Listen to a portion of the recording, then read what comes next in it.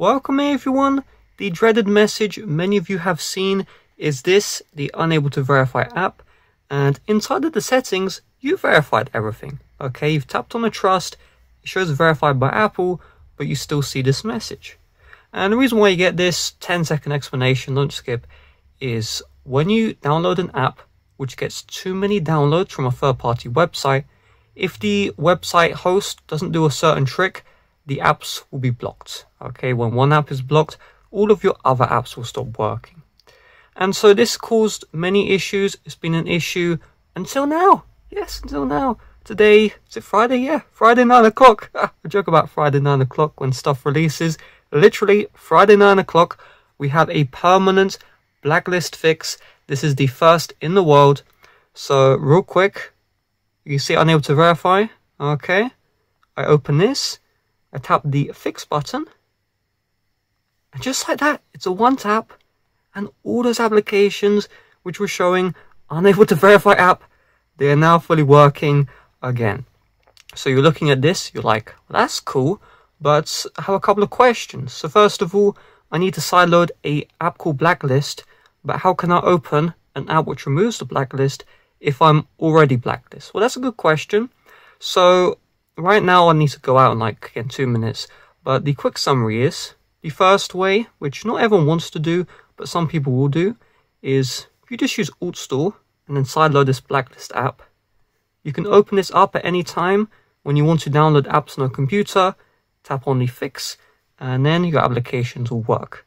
The upside of this is if you're like me, you just don't want to use the computer all the time, then you have the Blacklist app available to remove the blacklist from the no computer sideloads, and that's my personal use. But what if you don't have a computer, right? Not everyone's not everyone not everyone can spend a thousand pound on a phone, but not fifty pound on a computer. Wink wink. So what you could do is you could install another certificate which is revoked, and I'll make a video on this. And then when you use that revoked certificate, you can open up the blacklist app temporarily. It won't last forever but you can still open up the app and then remove the blacklist from the signed apps. So the English translation, just to break this down, with a proxy, you can temporarily install applications which are revoked, and with that temporary time, you can open up the blacklist app.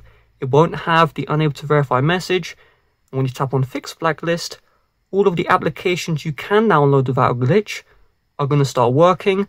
Okay, all the new apps will also work as well.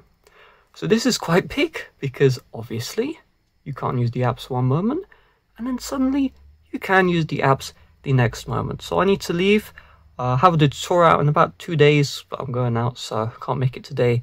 And this is this is big. This hasn't been seen before.